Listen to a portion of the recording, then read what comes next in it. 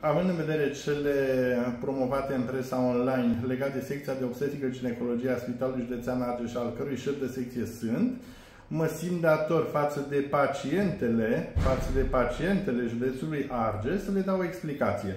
Uh, tot ce s-a promovat în presă că plafoane căzute în secția de leuzie nu este absolut nimic adevărat. Deci nimic adevărat.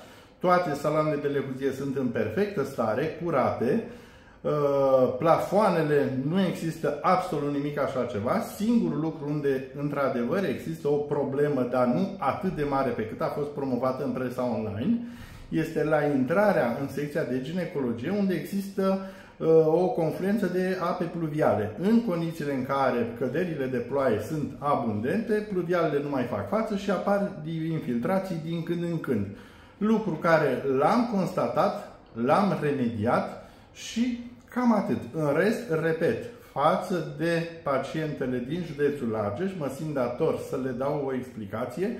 Nu există niciun impediment, niciun plafon căzut, nu a căzut secția pe noi, totul este în regulă. Bine?